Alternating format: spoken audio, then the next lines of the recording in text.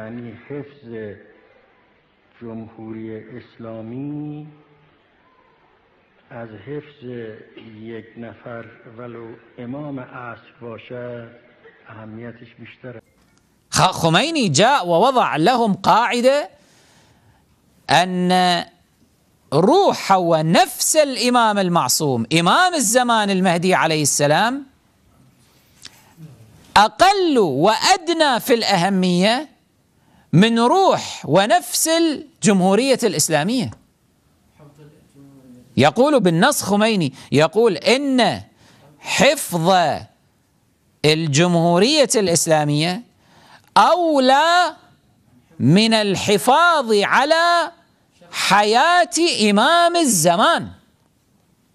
يعني لو دار الأمر عندك ما بين أن تحافظ على الإمام المعصوم أنت في حرب الآن والإمام المعصوم يتعرض لهجوم وممكن يقتل بسبب ذلك فرضا. وفي نفس الوقت الجمهورية الإسلامية تتعرض للهجوم من قبل الاستكبار العالمي وممكن يسقط النظام. فأنت عليك شرعا أن تترك الإمام المعصوم وتذهب لكي تدافع عن الجمهورية الإسلامية. ذكرت أنا في هو خطاب كان عنده وقرر ارجع إلى صحيفة خميني هذه اللي يسموها يسموها صحيفة نور. آه، موجود الخطاب هناك. أنا ذكرته بالمجلد وبالصفحة في بعض المحاضرات. قاعدة جعلوا لهم قاعدة أنه يعني الإمام المعصوم لا شيء في سياق في في مقابل الحفاظ على النظام الإسلامي. أي كفر هذا؟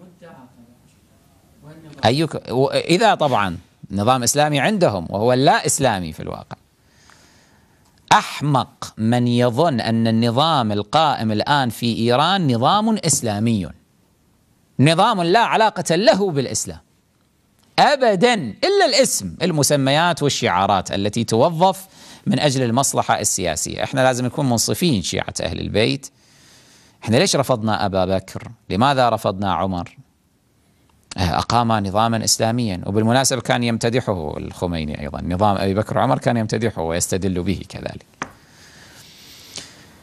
نحن رفضناه لأننا لسنا كبقية الناس الذين ينخدعون بالمسميات وبالعناوين. إحنا فتشنا هل النظام الذي أقامه أبو بكر هو بالفعل في مضمونه في أحكامه في سيرته نظام إسلامي أم ليس كذلك؟ هذا الذي نحن فعلنا فاكتشفنا أن النظام الذي أقامه أبو بكر ليس نظاما إسلاميا. النظام الذي أقامه عمر ليس نظاما إسلاميا. النظام الذي أقامه عثمان ليس نظاما إسلاميا. النظام الذي أقامه معاوية ليس نظاما إسلاميا. وهكذا.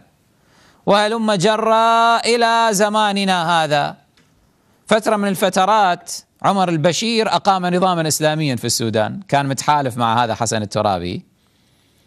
اللي هلك قبل فترة وجيزة.